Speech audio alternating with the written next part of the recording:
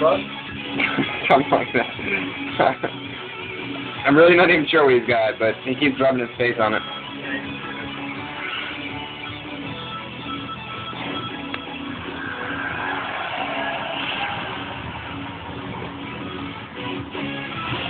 It's it's weird because he'll pick it up and then he'll